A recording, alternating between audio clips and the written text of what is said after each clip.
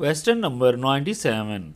In the design of corbel beams in a pumping station, why are shear links designed in the top two third of the section? What is the general advice on the design? Corbel beams are defined as Z over D less than 0.6, where Z is the distance of bearing load to the beam, fixed end, or called shear span and D is depth of beams. The design philosophy is based on strut and tie system.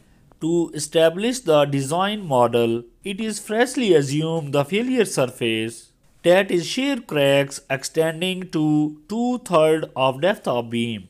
Experiment results verified that the failure cracks extended only to two-thirds of beam while the remaining one-third depth of concrete contributed as concrete strut to provide compressive strut force to the bearing loading. Horizontal links are normally provided to corbel beams because experimental results indicated that horizontal links were more effective than vertical links. When shear span depth is less than 0.6 for shear span depth greater than 0.6 it should be not considered as corbel beams but as cantilevers. In designing corbel beams, care should be taken to avoid bearing load to extend beyond the straight portion of tie bars.